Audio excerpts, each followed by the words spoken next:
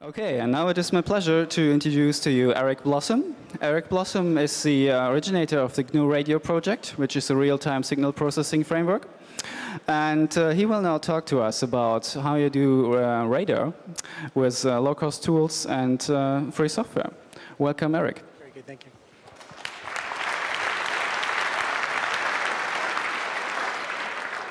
Hi, everyone. It's uh, really great to be here. And uh, I want to do, before we kind of really dive into the radar part, I want to give at least a couple minutes on GNU Radio. I've done that kind of talk a bunch, but I'm not sure who's seen it. So uh, GNU Radio is fundamentally a free software toolkit for building real-time signal processing systems. And generally speaking, what we use it for is doing radios. That's just because it's our personal interest, but we've got other people who are using it for uh, radio astronomy. There's people doing like atomic force microscopes using GNU radio as the control loop for those. Uh, it's a big, uh, it's a pretty good sized chunk of code. It's about uh, quarter million lines of code. It's in C++ and Python, and it's fun to play with. So um, kind of heading down the you know private investigations thought we were interested in well what's really flying around out there you know where are the black helicopters and are they coming um, there are also people who do all kinds of different stuff with radar so I just want to get going here and see we'll kind of cover radar a little overview of radar in general and then the kind that we're building and then we'll show you what we got working. So to start with in radar, um, it's been around for quite a while. It, it's an acronym that stands for um, radio detection uh, and ranging. But uh, in these days, it's more than where they mean ranging is distance. Really, at this point in the game, people really want to know where stuff is. And pretty much how it goes is, I don't, I don't know um, how it is here in Europe, but in the US, years ago before the, like digital TVs came out, that you could be watching your television and you, an airplane would fly over and the picture would get all wiggly and then it would get back a, a good again. Does that, anyone have that experience? Yeah, okay, good. So anyway, that, we would call that like multipath, or this, this idea that there's like a signal coming the direct path to your television, and then it's also one is coming up and bouncing off of the airplane and then back down. So what radar is really all about is watching the stuff bouncing off of things. And the things you could be bouncing off of could be, you know, people walking on the ground, they could be cars, they could be airplanes, they could actually be satellites. People use radar to watch uh, where satellites are. Um, lots of good stuff. So, and depending on the kind of radar system you build, there's a bunch of stuff you could figure out. And you get some of these or all of these depending on what you're doing. So how far away it is. This was the real first use of radar. They basically would send a ping out and they measure how long it takes to come back. And that gets you how far away. Uh, you can also figure out how quickly it's moving towards you or away from you. This is the, because of the Doppler shift. Like if you're at the, if you're watching, uh, you're at a racetrack and you have like Formula One racing and the cars are going right on down the straightaway. You hear the engine, the, the pitch of the cars comes up and then descends as they go by. That's the Doppler shift. So it turns out it works with radio waves also, not just sound. Um, bearing kind of the direction of the object. If you think about um, what you, typical airport surveillance radar, they have a thing that spins around. So they get the bearing by kind of mechanically knowing, well, I had my antenna pointed over that way. And then some of the kind of bleeding edge stuff that uh, is very popular in certain areas is this idea that I should be able to tell actually what kind of an object it is. Uh, this would, and, and, they can do things like this. There's some really fancy stuff they're doing in, in kind of the money is no object department here. They, um, they, they can kind of figure out what stuff is by watching the radar cross section. They can watch how the radar, radar cross section changes over time. They do like uh, um, these synthetic aperture radar where they get like a two-dimensional image and again they're doing like fast Fourier transforms in two dimensions and then they map it up against some other thing and they go, ah, it must be such and such a kind of airplane. There's um, other cool stuff, just in the other cool stuff you can do with radar, is that when you look at uh, airplanes, it turns out that, for example, if you're looking at uh, propeller-driven airplanes, you can actually tell that it has propellers because in fact the rotating blades show up as sidebands in the radar return signal. Um, and same thing with jet engines, believe it or not, is that because you know if, if you have an angle where you can see the turbine spinning, you can say, oh, it must be spinning this fast or it's got this many blades. Uh, helicopters, of course, are the same kind of a deal. So there's a bunch of kind of interesting stuff that shows up. All right, um, radar's been around for quite a while. Uh, Christian uh, Hülsmeyer uh, is the first one that I know about, spark gap transmitter, uh, and he was detecting ships. Um, these guys, the next people is Hoyt and Young. These guys were at the U.S. Naval Lab. They were actually doing propagation experiments with HF uh, radio into the ionosphere, and they had antennas aimed up. And all of a sudden they noticed, hmm, we're seeing like the wooden boat that's in the river over there causing a problem. They're going, oh, wow, look at that. And then uh, in the UK 1935, they actually set out and said, yes, we think can, de can detect aircraft, and they, they ran an experiment and could do it. The stuff really heated up in World War II, kind of like all sides in that were building radar systems or attacking other people's radar systems, and it got, you know, that's kind of a, where it really geared up. Okay, this is one, this is kind of your typical kind of radar thing you'd see at the airport. It's going to be spinning around. This is really the part that we think of as the radar. This is actually just a big reflector. It's the dish, and it's not in this image, but out here somewhere off the right-hand side is the feed horn, where they're actually transmitting the signal in and listening out. How these things work is they basically, they send a pulse out. So the transmitter runs for a little bit, and then it stops, and then it listens, and then it sends another pulse out, and then it listens. So it's, it's, a, it's a basically a pulse-based radar system, and the transmitter and the receiver are at the same location. So you run one, and then you listen, and there's all this fancy stuff about you know, how you design, what kind of signals you send, and how wide a frequency they are, and how they're modulated, and how often you, how frequently the pulses go out. I mean, you start thinking about, if you send these little pulses out, there's this ambiguity. You know, if the pulses are closer together than how far away stuff, all of a sudden you can't tell if it's far or close. This is another kind of mainstream radar. This is, uh, in one sense, it's, it's, this is the PAVE-PAWS system. This is a, um, this is a 400, this operates in the 400 megahertz band. Each of these big panels, this thing's about, um, about a 100 feet tall probably, so 30 meters probably tall. Each, each of these big panels has about 3,000 uh, separate antennas with transmitters and receivers behind them, and each element is about 300 watts. Uh, this thing can, they, and basically by changing, why they're called phased arrays, is because changing the phase, basically timing and angle uh, of what you send to each element, you can steer the beam around. So even though the, there's no mechanical moving, this actually beam, they can sweep it around.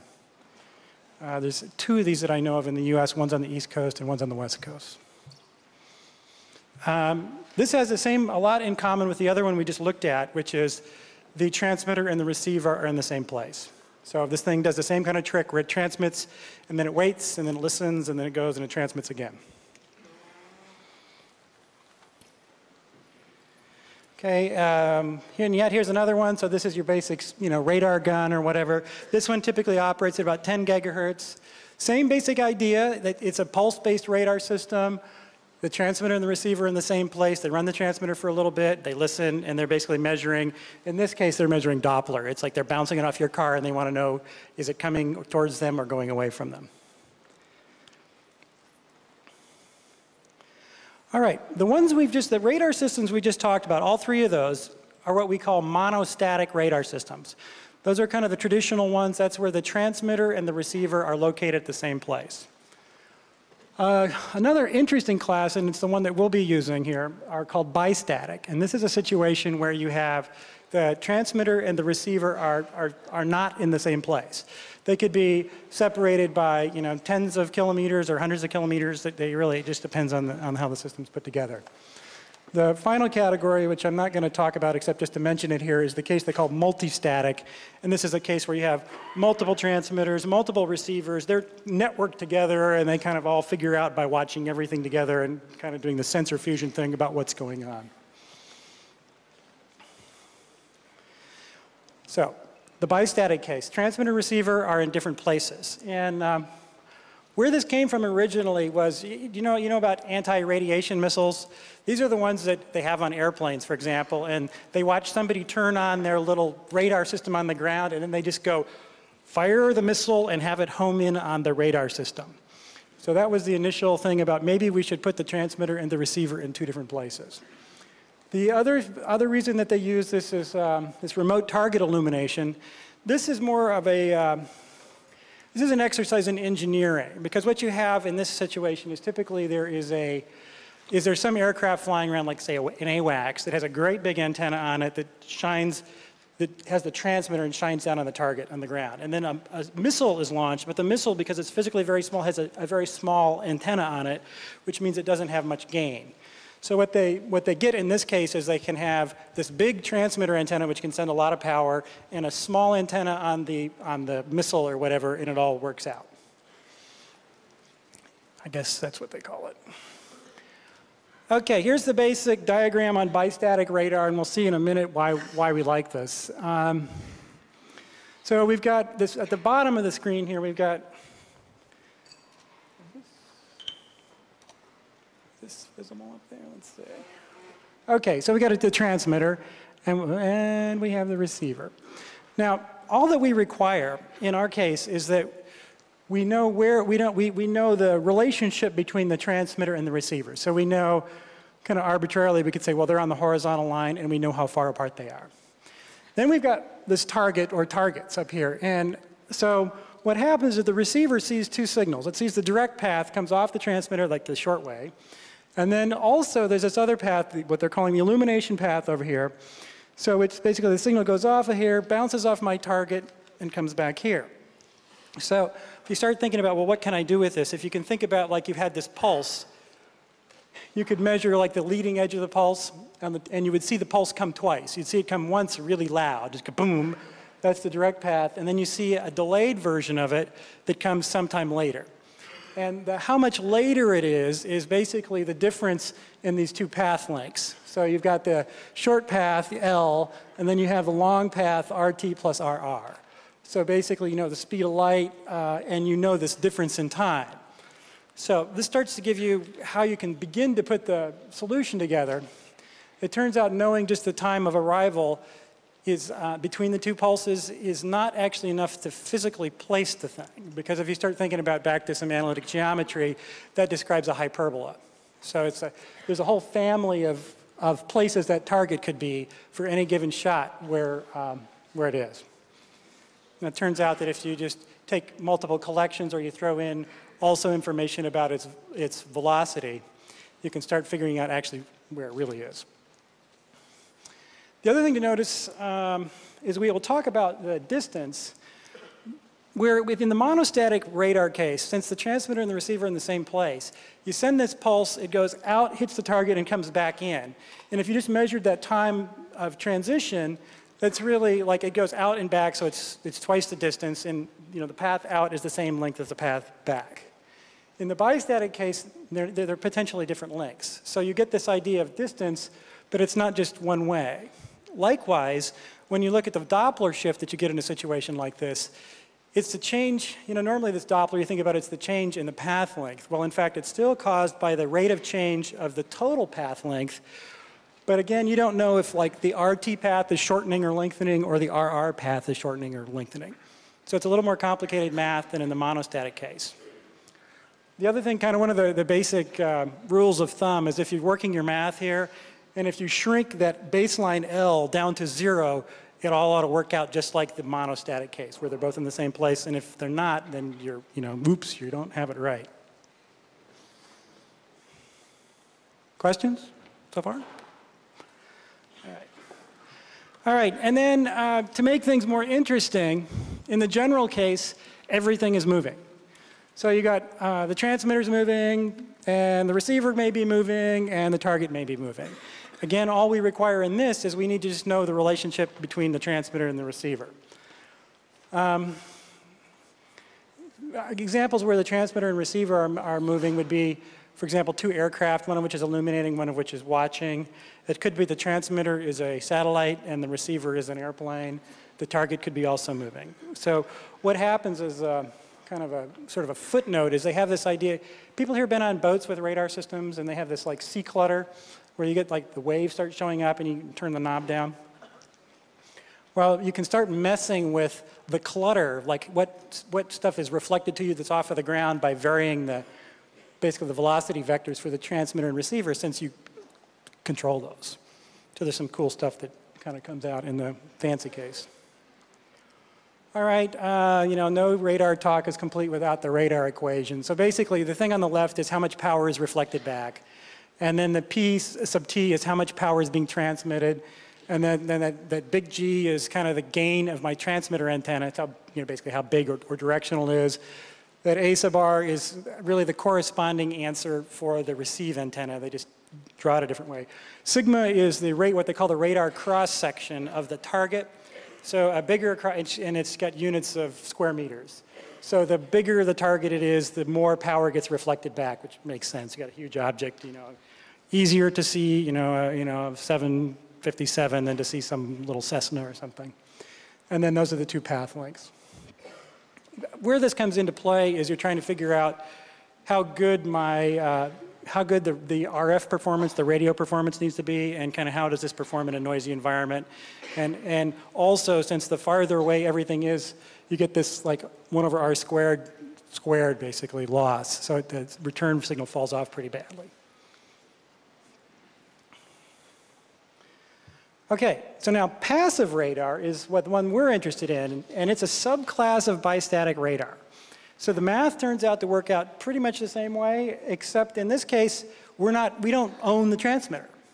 So we're going to use somebody else's transmitter. And this has got all kinds of great advantages. The starting with which is we don't have to run the transmitter, we don't have to pay for the transmitter. You look at radar transmitters, often they're like running at a megawatt. They require, you know, very fancy, hard to get license. Um, you know, I'm certainly not going to pay the power bill on the megawatt transmitter or, you know, excuse me, I need this big chunk of land and, you know, don't walk near me when I'm blasting away here. So we look at, um, it's pretty interesting. You look at, there are some passive radar systems. There's uh, one at, um, at the Haystack Observatory at MIT, and they have this giant dish. They got two of them actually, one of which just points straight up. It's not, it's not steerable, just points straight up. And then they got one that steers. But they use it for doing, um, mostly they're looking at stuff in the ionosphere. It runs at about 400 megahertz. And they also have observed that they see all the low Earth orbiting satellites. It's like, okay, good. So we look at kind of, all right, transmitters, what do we got? All right, we can get, there's a bunch, all right. Um, that's kind of like all, there's cellular up there, there's public safety, there's microwave point-to-point. -point. Uh, it turns out there's actually no FM transmitters up there, no uh, broadcast FM. That's a megawatt television transmitter. Um, there's another on the order of megawatt television transmitter. They're all over the place, okay? So the question is, okay, well, whose are we going to use? So we, we find somebody's transmitter, then we need to either have multiple coherent receivers. And what we mean by coherent is that, because we're listening to two, two signals, we might have one, one antenna is pointed directly at the transmitter and maybe another one is pointed sort of away from the transmitter, or maybe we're building this phased array where we have a bunch of antennas. The trick is that we need to be able to do when we're doing sampling and when we're doing the down conversion of the RF signal to baseband, where we're going to sample it, all that needs to be in lockstep. So there's this tricky thing about, you know, if you took two, ra two radios, mostly radios don't come where they can all be exactly synchronized. So this is kind of a piece of the problem. So, you know, do the, watch the reflections, do the math, and figure out where it is. How hard could it be? okay. Don't you love the problems that have, this is one of those like problems, that, a real simple description. okay, so we say, all right, well, what are we going to use? Um, and again, the thing is we don't control the signal out of the transmitter. So um, we don't get to say what they're transmitting in the traditional radar system the, you know, you, the, the guy on the receive end knows exactly what the transmitter is transmitting. They either know kind of a priori, like they know if it's a, if it's a spread spectrum transmitter, they know exactly the spreading code they're using. Um, but in our case, we know, we can know just because we know the class of signals it's transmitting, we have some information about it. So broadcast FM, this is a, the, about 100 kilohertz wide. It's the, probably the easiest one to do. Analog or digital TV. This is actually probably the more interesting one as far as the kind of uh, how fine of resolution you can get, and we'll talk about that in a little bit. Um, and then there's people, there's an outfit in the UK called Roke Manor who claims to be doing uh, GSM-based, uh, they're calling it CELLDAR, uh, where they use GSM base stations uh, as the transmitters and they watch the reflections. The, from, from looking, from my reading of the literature and talking to some other people, we're not really clear how useful it is because the base stations are relatively low power. So you, you don't see anything until it's right on top of you. So that's kind of like, unless they're looking at vehicle traffic or something like that. But aircraft, they're, you know, sorry, they're on your head before you notice them. Um, I don't know of anybody who's actually done UMTS, but it has the advantage of being uh, quite wide bandwidth, which allows you to do a more precise fix on the location. Uh, other choices, actually, these have all been tried too. High-powered satellites, uh, the DBS, I know that people have tried this with military satellites which aren't this high a power, so this might work. I know of people who have done it and made it work with GPS satellites, and so they have the satellite as the transmitter, and then they're flying an airplane as the receiver, and they, they, they tell me they're watching you know, weather or waves on the ocean. My, I think they're looking for ships, but uh, again, the, the, cool thing about the GPS stuff, the, the satellites aren't that powerful, but they do cover everything. And it's a spread spectrum thing, so you have this big coding gain. So you can basically correlate stuff and go find the weak reflections. And then another trick that's been done really all the way back to World War II was you take advantage of other people's radar transmitters. Um, sometimes you, sometimes they're a friendly transmitter and they could be a hostile transmitter in a kind of a military situation. But again, they're high powered, they're transmitting, and if, as long as you can point at them and you can point, get to see the reflections back, you get to take advantage of that. Uh, the secondary surveillance uh, radar system, this is like the squawk ID that, you know, like the, uh, the air traffic control, they, they like to know just not where it is, but they like to know like altitude reporting and all this. So there's a secondary thing that pulses out at the airplane, and when it sees it, it has its own transmitter that sends some encoded information. That stuff's about 1.9 gigahertz. Okay, so before we headed down this path, we said, are we totally crazy or has anybody else done this? So um, the top one here, the Lockheed Silent Sentry, is in the money is no object, uh, let's, let's make it work. It was based on doing, um, taking advantage of broadcast FM stations. One thing that people, to kind of back up for a second, what they like about FM is that the signals are they're all over the place, they're all around the world, and they're fairly high power, so it's not uncommon that they're 30 kilowatts. And uh, because of the frequency range, they actually have good propagation characteristics. So you can see things in the conventional case, you get line of sight to the horizon. So depending on how high up you want to are interested, um, you can see a long way, you know, hundreds of kilometers. Uh, and then the second one I'll talk about in just a minute is this Manastash Ridge radar. That's the total low-cost system that is really kind of inspiring, but they take advantage of a relatively unique feature that the rest of us don't have. So here's the Lockheed Silent Sentry. This, they sell this thing for like on the order of a million dollars. You know you're in trouble when this rack to the left is full of all this very expensive HP test equipment over here.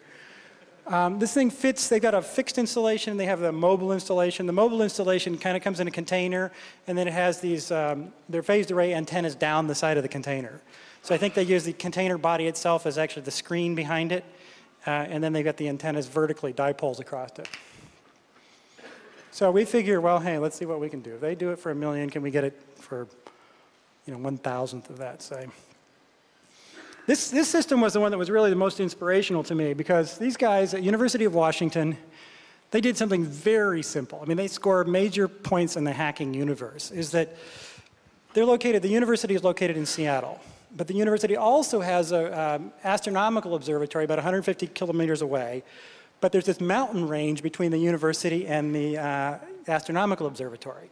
So what they do is they have one antenna that's just hanging out the window of the double E department, and it sees the transmitter that's right over there, the rock and roll radio station, FM station. Again, it's about 100 megahertz. And then they have another antenna. This is a, a YAGI, directional antenna at the, uh, at the uh, observatory that's pointed north. What they're interested in is um, ionospheric phenomenon. They really want to know about plasma, aurora borealis, this kind of stuff. It's the, these, there are people who really care about this stuff, and these are, these are some of them. I mean, it's cool. I mean, they, I mean, they get their own journals. Let me tell you, you're going to go, oh, wow, there we go. Um, and the cool part for them is that thing about how you get that coherent, you got to have that coherent sampling on both places, is they use uh, GPS clocks um, on both ends. Now, one thing uh, I don't know that people know about GPS, mostly we think of it as uh, for location. But there's a, you can buy receivers that are specially tweaked up to do really good timing. So um, they get they get really good. I mean, there, there's a, actually there's a mailing list called Time Nuts. I don't know if you guys are familiar with this. These are for people who like they have the hydrogen maser in their basement. I mean, they really they're they're out of control. But they, if you want to know what time it is to like you know one part in ten to the twelfth, there are people out there who will tell you. You know. So they, they know, like, they got their own, like, little eBay, the cult of eBay, where they, you know, they get the rubidiums and the cesiums. Those things aren't, like, relatively affordable, you know? The hydrogen maser, I guess that's really the holy grail. When you've got that, you're, you're like as good as National Standards Lab.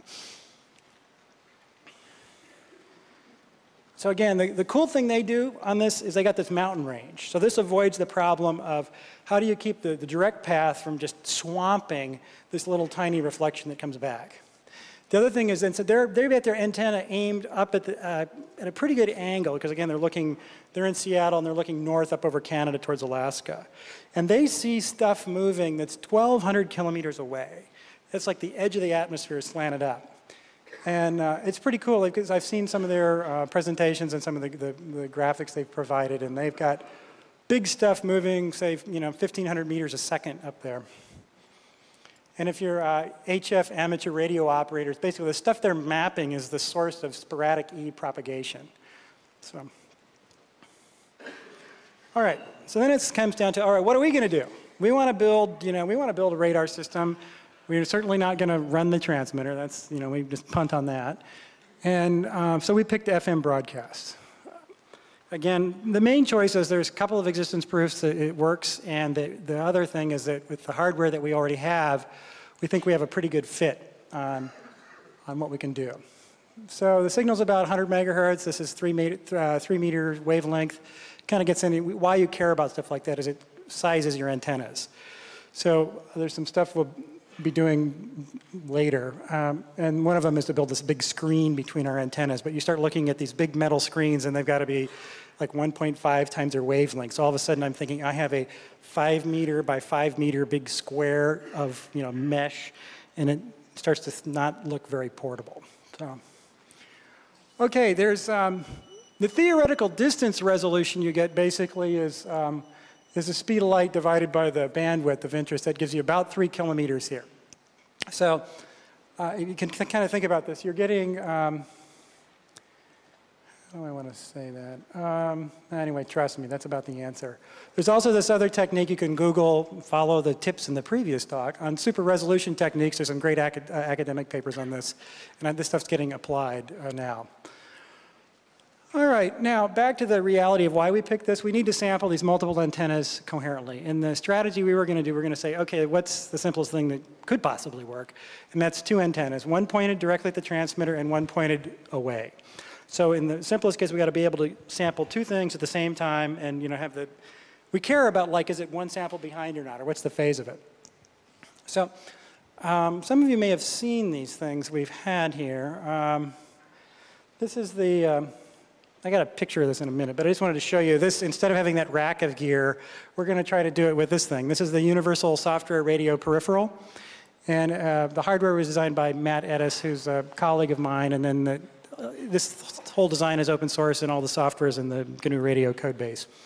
So what it has is four uh, A to D converters, high speed, 64 megasamples, and four D to A's for transmitting, FPGA, all that. Looks like that. The the cool thing about this is that it, we can do up to four channels. Uh, and if you look, this is about, by the time you get all the pieces you want, it's about $700 US. And um, the cool thing is there's nothing else out there that comes anywhere close to the performance this thing has for the price. I mean, there's lots of people that'll sell you four channel high speed stuff, but they're going to be like $10,000 or more. Uh, sort of the same block diagram here. There's these receive daughter boards, the converters, FPGA in the middle for, we do some of the signal processing on the FPGA, the, basically do channel selection and filtering on there. And it hooks up over the USB 2. Everything in the system is downloadable over the, over the USB. So we load the firmware into the USB 2 controller over it, and then we use that firmware to load the contents of the FPGA. So it's completely flexible. Okay, and I wanted to talk a minute about this bandpass sampling, not like we're going to do all the math here, but just to give you folks an idea about this if you haven't heard of this. The, the idea generally is that if I want to sample an analog signal, I want to make sure that I'm not losing any of the part I'm interested in. And this guy named Nyquist, a while back, figured out that you needed to be sampling at least twice as fast as the bandwidth of interest. So in the, in the cases like people mostly come out of you know, engineering school, the first time they look at this, they're always thinking of the low pass case, where that means if, well, if I have a signal that's, that's 100 megahertz, then I must need to sample it at like 200 megahertz or 250 megahertz. Well, if I were trying to capture everything from 100 megahertz and down, that's true. But if I'm only trying to capture some stuff that's like centered at 100 megahertz, but maybe is a few megahertz wide, then I don't need to run that fast. So the, the trick is that at this sampling rate over two, there's this there's aliasing that occurs. So it's actually like chunks of the spectrum just fold back in and fold back in from both sides.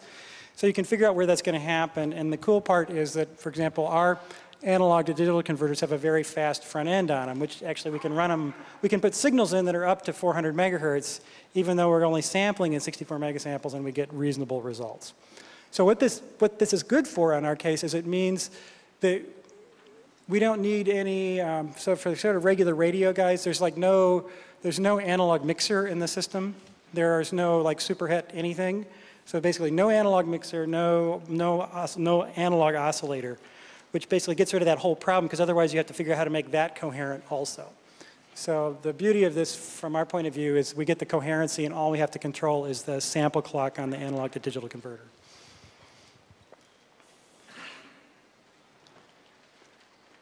Okay, so we went and we said, all right, what's the simplest thing that could possibly work? And this was the, the two directional antennas, point one at the one at the transmitter, one was about 120 degrees away. This was because it was towards the airport two low noise amplifiers, and then one of these USRPs. Okay, looks like this was the setup. These are, um, you can kind of see there's, there's two of these directional antennas. These were actually, we get them at Radio Shack in the US. They're for FM radio, and they're very inexpensive. They're like $25. By the time you get the mast and the stand and the cable, you probably got about $100 in each one. One. And then there's, you can see the one in the other direction over there. The transmitter in question is um, on that mountain right there. There's a whole bunch of them over there, but that's, the, that's where we're pointing the one at, and it's a clear line of sight. And then here is the sort of, you know, in the field, so basically it's, you know, laptop, it's duct tape, it's some cables, and the USRP is in the cardboard box under the table there.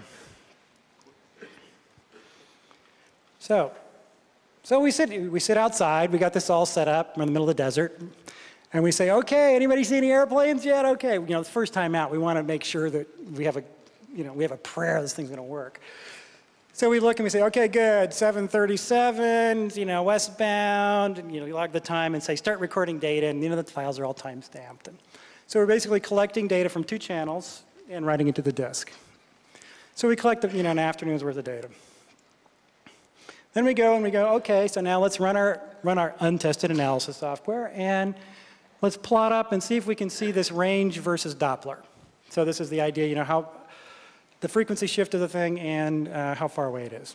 So we go, hey, all right, look at this graph. So the, so the, the y-axis is Doppler. So this has lots of bins in it. So this, this, the way this was plotted up is there's like 256 possible frequency you know, offsets that it could be at. And this is about 30, 30 pixels wide here, 30 bins wide this way, which is about out to 30 kilometers. So, I, I mean, I was looking, the airplanes were closer than 30 kilometers. I figured they ought to be in there.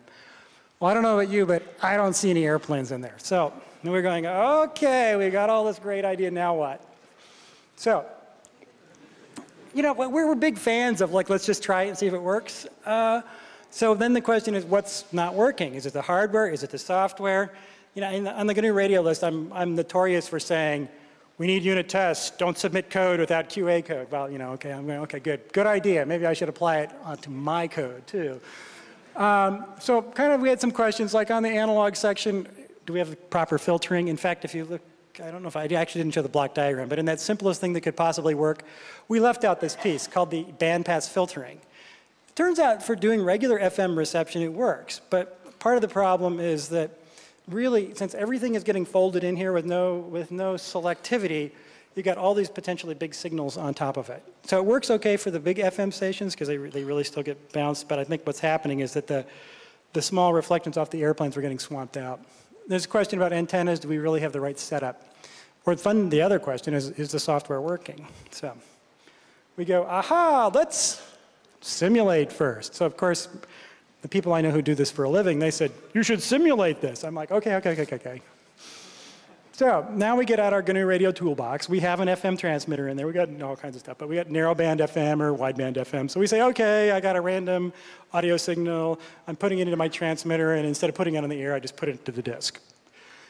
And then I say, okay, now we want to simulate radar reflections. Okay, how do you do that? Okay, um, so you got the geometry, you got where's the transmitter, where's the receiver, how many targets do I have flying around? You know, you got some geometry, you're, you basically, so you're simulating, you know, the aircraft's flying this way at a particular altitude or whatever. And then you got to figure out the propagation delay that should be seen in the Doppler shift. So then we said, okay, let's try this analysis software on the reference signal, which was the simulated FM signal, and then basically you feed the analysis software the reference, which is basically the direct path, and then you send it the reflected stuff. So, hey, I see simulated airplanes. Okay. So, this is actually great news, let me tell you. It, it meant that the first software didn't work. Now, we think there's also probably some other things to fix yet. But, so the thing, what we're looking at here is two fuzzy dots on a black background. But so the, um, the horizontal axis is, is the slant range, it's distance. So that's about 100 kilometers from the left to the right. And, um, and the y-axis basically has a zero in the middle. Clearly we need a little, like, you know, tick marks on here. But anyway, zero, the zero velocity is in the middle. And kind of at the limits of plus and minus on there, it's about, uh, maxes out about 750 meters per second. So that's uh, kind of the speed of a, of a commercial airliner at cruise. So what we see are these two fuzzy things. Um, turns out there's lots of stuff you can do to tighten them up. There's, uh, if you start thinking about how you're, let me back up for just a second. So remember I was talking at the very beginning of the talk about how they had these radar systems where they sent out a pulse and then they stop transmitting and then they listen? Well, we don't control the transmitter, so it's on all the time. So the, the trick we get is that we can listen for a long, long, long, long time. And it turns out that the broadcast FM signal, particularly if it's turned to something like, you know, very raucous rock and roll, has got really good properties for us. If, it, if they're just talking, it's not so good, seriously. But if they're really cranking it up, you have this idea that when you, you, how you figure out where, you know, you're trying to make this time measurement, what you're actually doing is you're correlating, you're sliding kind of a delayed version of the signal against a non-delayed version of the signal, and, you, and it's brute force. You say, okay, try matching them up here, and you basically compute this. Uh, it's the correlation, but it's basically you take complex conjugate and, and sum them. You know, and you can, you can pick how big a window you like, and the bigger this window gets, the tighter you fit. So since I can, take, I can do a second's worth of data, it's like 250,000 samples. These ones were done with 25,000 samples here. Um, anyway, so you get knobs, to, you get knobs to twist on, you know, how does it, how does it look? Uh, okay, so let me show you a, this thing animated. So again, the other thing to, to remember is that these, this isn't like X and Y position in this thing. This is like the raw return that we get out of the, sort of the first cut of the analysis. So this is how far away, basically the, the distance in here is the difference in the direct path distance and the full reflected path distance.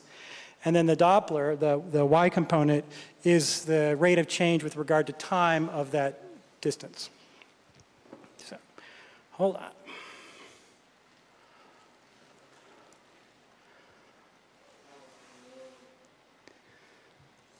So here are these two airplanes, and now we're going to see them actually moving around.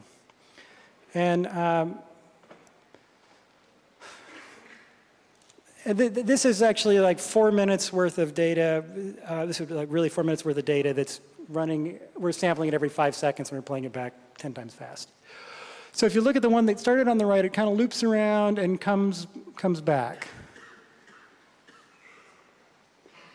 And the other one kind of came in and goes thing. So let me do it again just so you see what happens here. So the thing to know is that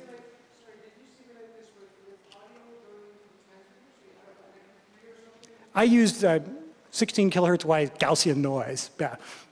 But I've also tried it with real FM signals I recorded off, off of the air, and that works too. I could, we could throw FM. We could have like a, the selection of which is our favorite radio station, you know. So we could do that. The, the GNU radio transmitter, you just plug whatever data you want into it. Um, and we can, you know, resample up or down to whatever rate you like. So.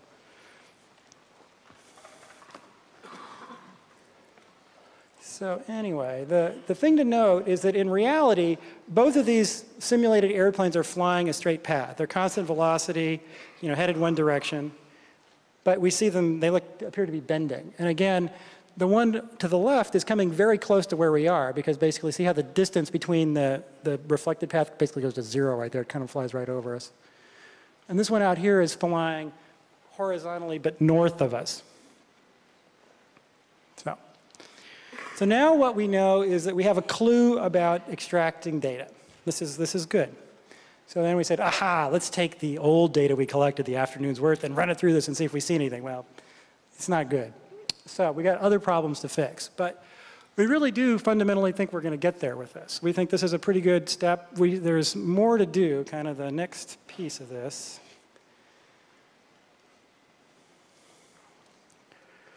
Meanwhile, so kind of where we go from here. So now we know we have software that we have a clue about. Um, we should be able to use this sim simulated model to really go back and figure out how, how good of does our analog hardware need to be and what is it likely we should be able to see. I mean, as a, a friend of mine who I was talking to about this described, he said, you're gonna, you're gonna start with the airplanes that are casting shadows on your house, right? And I said, yes. So we have like, you know, the, I live in Reno, Nevada. The airport is relatively close. The airplanes fly pretty much over the top of the house. We, we should be able to see those things. They're big. It's not like we're trying to find little tiny things. Um, my, my friends who are real RF experts, they keep telling me, you need helical filters. I'm like, okay, okay, okay. I'm looking for people who want to build helical filters. Um, those are actually a very cool mechanical engineering hack. They um, like to do them at 100 megahertz. They, they end up being about, they're um, like 10 centimeters by cylinder, 10 centimeters across and 5 centimeters tall, and there's like a little so it's like a copper piece of copper pipe that then has like copper helix inside of it that's only got one end connected, the other end's freestanding, and it, it works because of the mechanics that are right inside of the thing. So those are very low loss, meaning that we don't, um, basically we select just the part we want and our signal isn't attenuated. So we might try some other things too, but that's, the people who are in the know keep telling me this is the answer. And I haven't found them. You can find them off the shelf at about 400 megahertz. They use them in lots of radios, but apparently they're not, I haven't found a supplier that just you know, sells them to you. Other ideas on antennas. So we looked at, um, and again, this is from looking at some of the literature, what did other people make work? See, part of the problem may be that we're getting swamped out uh, by the main path transmitter. You start thinking about this. This, this, this reflection off the airplane could be, you know, minimum 100 times smaller, you know, 20 dB down from the main path. So you, you, think about it, you got like this spherical wave that's propagating out and it hits something and then it propagates back to you. So it, it's small. So one of the tricks that people have used is they need some way to mash, to keep the main transmitter from just really hammering them. So the guys at the University of Washington, they had this clever thing, you know, relatively unique to them, is they put the mountain range between the two, solve their problem. The other people put this big metal screen behind it, and it's a classic setup for um, Oh, like in electromagnetic labs, there's like a, a, a, canonical antenna they use for measuring field strength, and it's got that shape. So it's a big grid with two dipoles in front of it. The other thing are antennas called corner reflectors, and basically they're a quarter wave dipole. So again, that's gonna a quarter wave of three is a nice smaller thing, and it's basically a big triangle, like, like this with a metal plate on the bottom. Those, those should work pretty good too. So that's the immediate short term. Then, then what gets interesting is so, so we get the raw radar return and we've got sort of, we, it's kind of like you think about you're doing your first order feature extraction. Then the, the other juicy part comes in here about, okay, well, it's nice to be able to determine where they're coming from. What is the angle of arrival? So then we start using, since we can do four antennas with uh, current hardware, we can at least do, say, the two dipoles and then the reference and we can start doing interferometry. So you have the two dipole antennas, they're half a wavelength apart, so they're, they're a meter and a half apart. And um, at that point, and since you put the screen back towards the transmitter, it turns out you can only see, you know, about half of the universe in front of you. You can't see behind you, but, you know, that's just kind of the reality of it in this setup. Um, so we'll do that.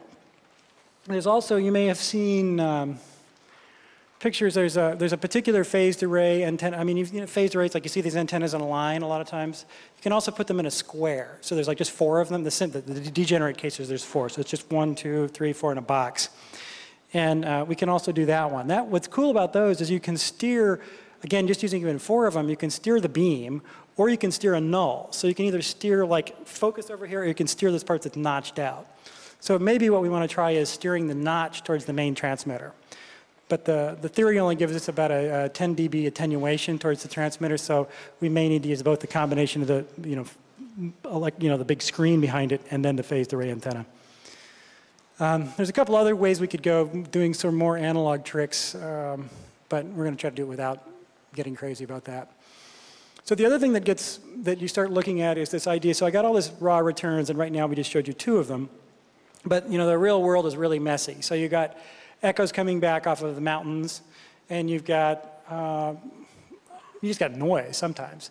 And the, the trick is to figure out what do I care about. So there's a bunch of different algorithms. People have been at this radar processing really for a long time. And one of the ways it's pretty easy is if you just start by only looking at stuff that has like a non-zero Doppler, you know, the stuff that's not, not moving, probably I'm not interested in. You know, since I know that the transmitter is not moving and the receiver is not moving, the target's not moving, you know, I, I don't know. So we get rid of those. And then the trick is, okay, now let's go and we got all these data that we feed into this thing where we know that really there's solutions, the solution of this particular set is a hyperbola. And then what happens is over time, you basically, they usually they do this technique called Kalman filtering, where it's basically you have this noise, you have a basically rough guess, and then you, you know, time ticks and you go look again later. Now the cool part you know is that the airplanes we're looking at probably can't do like light speed jumps. So Newton probably still rules. So you start looking at, okay, I've got a possible fix here that's like anywhere on this branch of this hyperbola. And then 10 seconds later, I got another possible fix. But some of those solutions are not physically possible. You know, that the airplane could not have gotten from where it went to where it was. So you start narrowing down that like that. And then it gets real tricky when you got bunches of targets flying around. Uh, you know, also where we're going is, of course, we want this to really look like the radar screen. We'll probably even make it sweep even though this doesn't sweep. I mean, you know, that's kind of the artifact of back to where the thing is spinning around. This is, they call this staring. So this thing just looks all the time, look, look, look, look, look. And there's a question of how often you refresh the thing is, is kind of like how long a period are you integrating over to get the data you're looking for. And then when this is all working and you know you can we'll have the white paper out that says you know order this thing and then you build this antenna and then you run this free software. Then the next thing we do is we go probably do it all over again with digital TV signals. So the cool thing about digital TV signals, because of their bandwidth, we should be able to get fixes that are within like 50 meters. So if you remember back to the, the FM, we get three kilometers, which is like, yeah, it's okay. You know, I'm not arguing it. It's like better than zero, right? But 50 meters is, is very exciting. And okay, all this code is in the GNU Radio CVS. So um, if you can't find it, send me email. Um, it's in there under the GR-radar module. And we have a mailing list that stuff all gets discussed on. Uh, most of the action around the GNU Radio project is really on the mailing list and you know in the CVS repository. So, and then questions. We got a few minutes here for questions.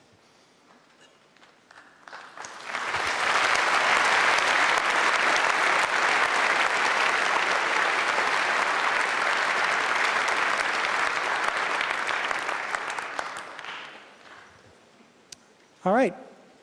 Yeah. Um, this is like my main priority right now. There were some things that got in the way, like making all this data stuff work, but now we're, that's been put to bay. So, I don't know, a couple, three months maybe, something like that. We could, I mean, basically we should now be able to, now that we know the software is not completely broken, we ought to be able to do some experiments on the RF side and see what we get.